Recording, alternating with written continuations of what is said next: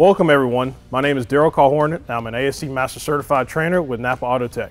Today we're going to review the best installation practices of thermal management product replacement on a Tesla Model S. We are fortunate to have Chris Salvo from Electrified Garage and Drew Conkling from Gates. Yeah, thanks for having us, Daryl. Thanks for being here. Here to show us how to replace the coolant hose, an electric water pump, and a coolant control valve. It's important to demystify electric vehicles and understand what they are and what they are not. EVs have far fewer moving parts than an internal combustion engine equipped vehicle, but they do still have moving parts that wear, ultimately fail, and need replacement just like other vehicles. EV thermal management systems consist of coolant hose, electric water pumps, and coolant control valves, as well as an air conditioning system. Note that I said water pumps, plural, and note that there is a significant increase in the complexity as well as the quantity of these hoses found on EVs.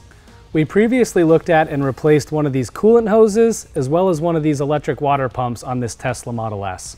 Now, in our third installment, we will replace one of these coolant control valves. Gates coolant control valves utilize innovative materials and designs to help ensure motors and batteries are running at temperatures that are not only effective and efficient, but also the safest. And all of these are available through your local Napa store.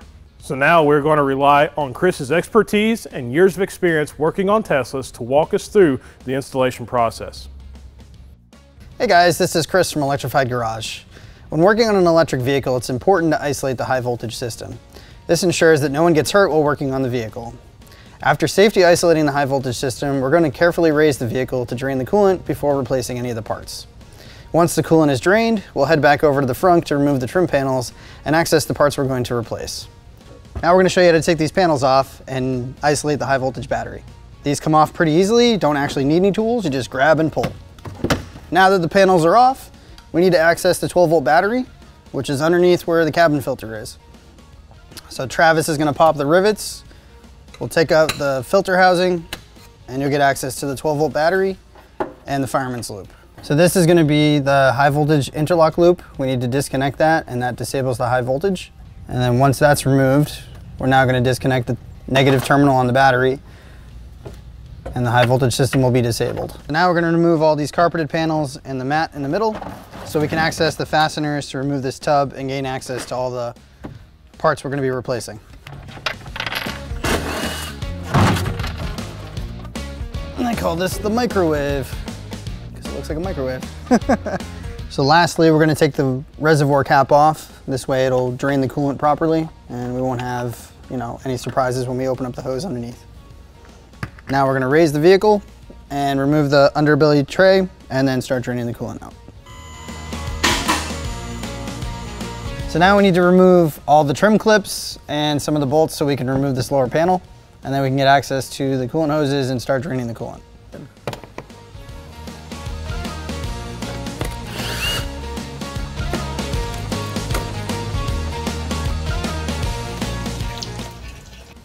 Instead of a traditional thermostat, they use control valves to direct where the coolant is going to go, whether it's to cool the battery or to cool the drive unit, or to heat the battery or the drive unit if it's cold out. So there's three hoses that need to be removed, one electrical connector, and one mounting bracket. Connectors on, hose clamps are in, fasteners are down. The next step is to refill the cooling system. It's important to make sure that the cooling system is properly bled of all air to prevent cavitation of the pumps and sensor malfunction, which could lead to major problems. The last thing that we need to do is to reinstall the front panels, and we're done.